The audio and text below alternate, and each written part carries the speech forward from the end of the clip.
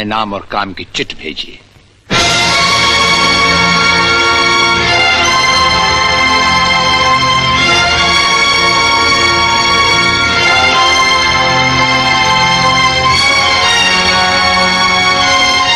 अंदर भेजो।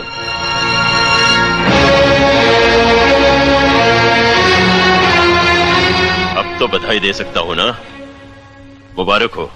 हम अजनबियों से हाथ नहीं मिलाते। दिल मिलता है तो हाथ मिलाना अच्छा लगता है। और मुझे खड़े रहकर बात करना अच्छा नहीं लगता कलेक्टर साहब। मेहमान को अगर बैठने के लिए नहीं कहा गया तो मैं खुद बैठ जाता हूँ। यहाँ हम उन लोगों को बिठाते हैं जो बुलाए जाते हैं। जो सिर्फ़ सलाम करने आते हैं उन्हें वहाँ बिठाया जाता है। मेरा नाम गंगाधर चौधरी है। और हमारा नाम राजपाल चौहान है। मैं यहाँ के मशहूर चौधरी खानदान से ताल्लुक रखता हूँ। और हमारा खानदानी सिलसिला अजमेर के मशहूर पृथ्वीराज चौहान से मिलता है। मैं शिकारपुर का सबसे बड़ा जमींदार हूँ। राजस्थान में हमारी भी जमीनात हैं और तुम्हारी हैसियत के जमींदार हर सुबह हमें सलाम करने हमारी हवेली पर आते रहते हैं। कलेक्टर साहब आप जैसे बहुत से कलेक्टर यहाँ आए भी और चले भी गए। मेरा मतलब है कि समझ गए हम तुम्हारा मतलब। हाँ, हम वो कलेक्टर नहीं जिनका फूक मारकर तबादला किया जा सकता है।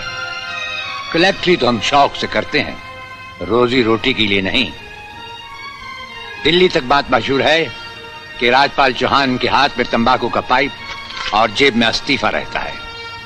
जिस रोज हम इस कुर्सी पर बैठकर इंसाफ नहीं कर सकेंगे उस रोज हम इस कुर्सी को छोड़ देंगे।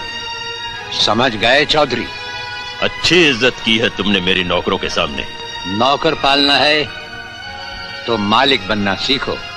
जमींदारी करनी है तो जमींदारों से दिल पैदा करो।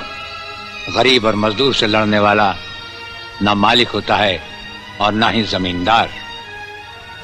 इस दफ्तर में हमारा पहला दिन है इसलिए हम तुम्हारे गुनाहों का हिसाब आज नहीं। फिर कभी मांगेंगे। रामू? जी हुजूर। अब तुम लोग चौधरी साहब के साथ शिकारपुर लौट जाओ। अब तो जमींदार जी हमको जीने नहीं देंगे हुजूर। अब तुम्हें कुछ नहीं होगा। चौधरी साहब जान चुके हैं कि हम कलेक्टर ही नहीं कुछ और भी हैं। वैसे इस दफ्तर के ही नहीं हमारे घर के दरवाजे भी तुम्हारे लिए हमेशा खुले रहेंगे। चौधरी साहब इन्हें अपने साथ शिकारपुर ले जाइए। मुझे तुम्हारी नसीहत याद रहेगी कलेक्टर साहब। चौधरी नसीहत ही नहीं ये मुलाकात भी याद रखना। ज़रूर।